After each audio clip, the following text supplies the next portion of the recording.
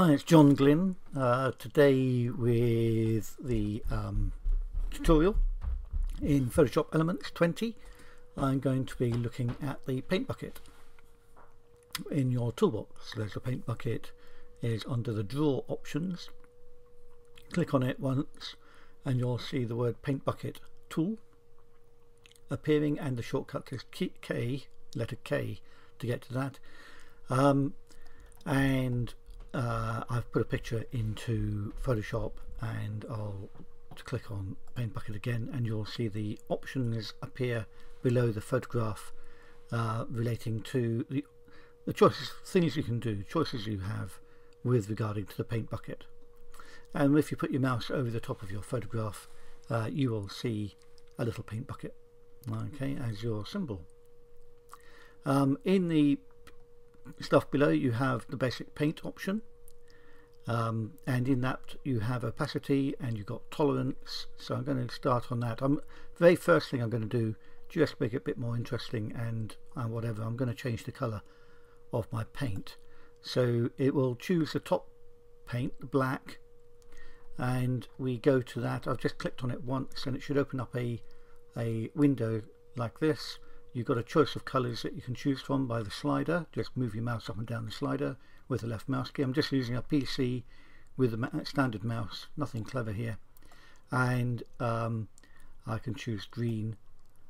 Put my mouse inside see my little brush inside the um, or cursor rather inside the color click once with the left mouse key and I now have the new color which is green and the previous color what we call current color is black. I just say OK and now I have green as my paint bucket color um, when we're working with a paint bucket I'm just going to show you the basic process.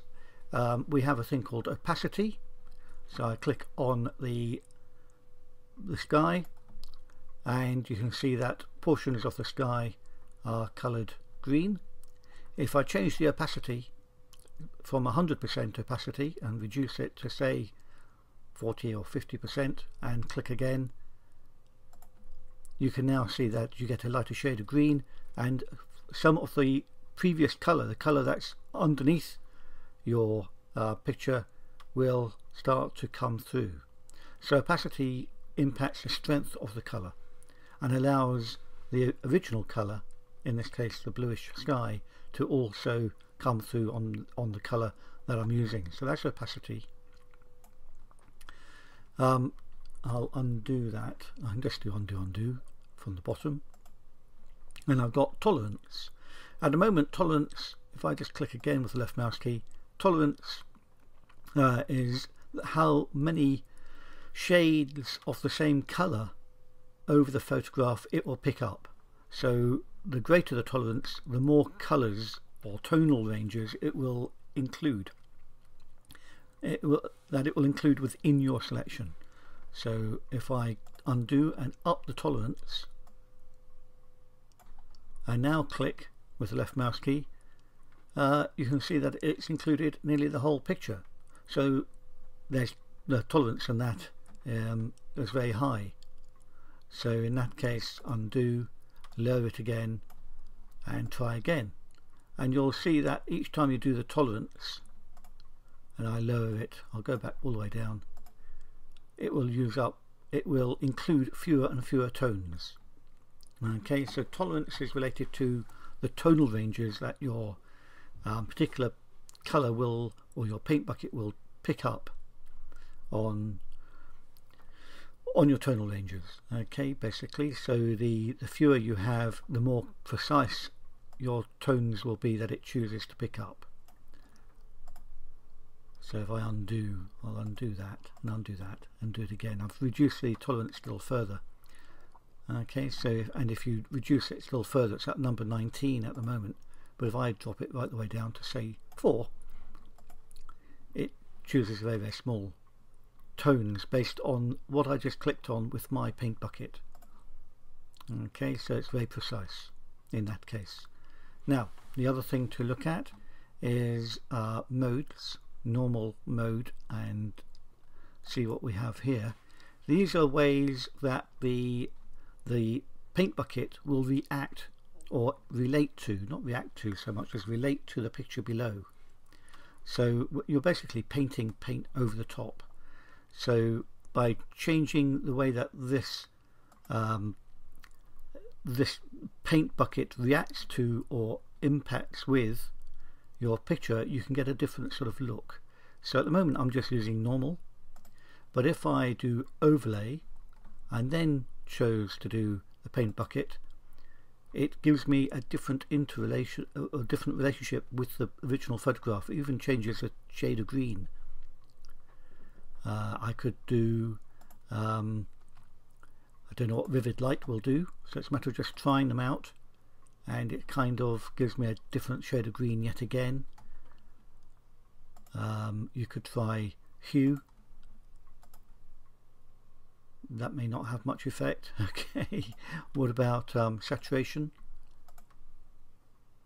Uh, and things like that. So it's a matter of trying. You have to do it before you do the bucket. You can't change it after the effect. So I can't now go back in and say oh let's do overlay. It doesn't do anything because um, you have to do it before you do the effect okay so if I want something to be done I'll undo everything. If you do lots and lots of things as I have done now, it's quicker to go to the history panel on the right hand side. If history isn't open, then that will be under window history. And if you see if it's got a tick, it's open, and if it's unticked, it isn't. You just click it with the left mouse key and it will open here. And what you can do is use the slider, go back to the very beginning, there's the word open, click on that with the left mouse key, click the right mouse key clear history, say OK, and you're back to square one.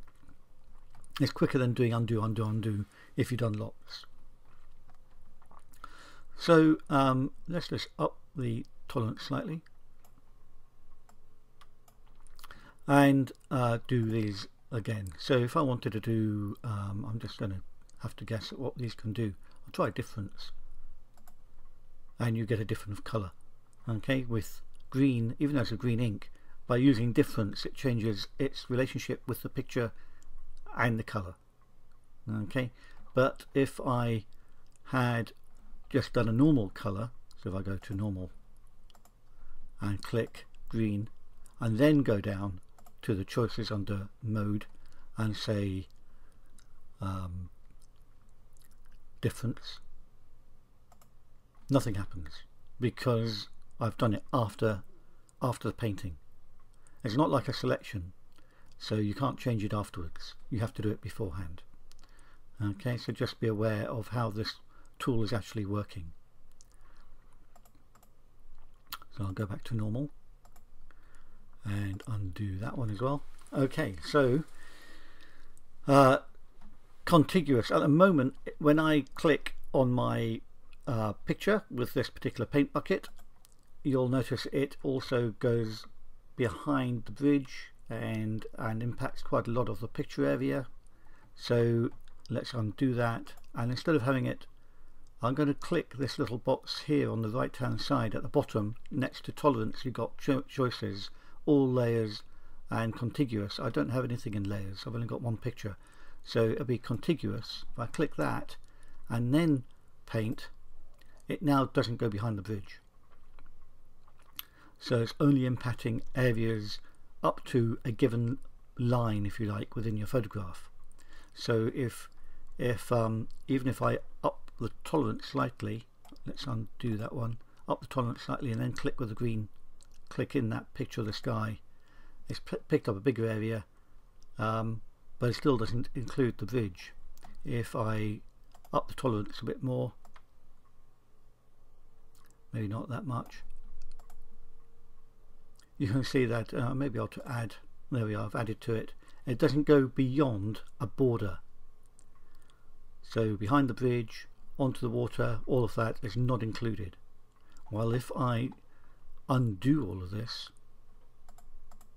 And untick contiguous so it's no longer ticked. And click with the left mouse key now. You can see the difference. Very quickly it includes behind the bridge and other parts of the picture are also included. Because when you when it's contiguous it's only impacting immediate pixels next to it. When it's not contiguous it, in, it includes pixels all over your picture of the same tonal range. Okay just be aware that that's what it's doing in the paint bucket. Okay so it's worth practicing all of this just so that you get an understanding of what they do. Uh, you'll notice if you've used other tools that some of these things like contiguous and non-contiguous will appear in other tools as well and work in principally the same way. Okay and the other thing we've got here uh, next to the paint is a thing called pattern. In pattern we have different ways. You've got default shapes and patterns but if you do the drop down menu there's a whole load of other patterns rock patterns. These may be useful in some pictures especially for backgrounds. Grayscale paper uh, textured. Um, but a lot of this is also for um, graphic applications rather than photographic applications. So you may find that you don't want to to be using them in photography but it's worth knowing about them anyway. And you may find that at some stage you do want to use them as part of a, a design in a, a birthday card or something like that. Again you just use it the same way as you would do with the paint bucket um, you can choose a, a pattern put your mouse over the top of your picture and you've got the paint bucket still click once with the left mouse key and I now have that pattern dotted all over the photo. Everything else works in the same way with patterns. So it, once you've learnt the basic principles of using a paint bucket the pattern will be the same idea. Uh, there is a little drop down menu on the right hand side of pattern there's options here to load your own patterns. Okay so you may be photographed pebbles or something that you would like to make a pattern with. You can load them in uh, and create your own patterns as well. So they don't have to just use the ones that are already preloaded. Okay um, it's a matter of trying them just get an idea of what they do. But uh, generally speaking we would use a paint bucket in photography rather than the patterns but you never can tell and it's worth knowing about them. And basically that they they kind of work in the same way as a paint bucket.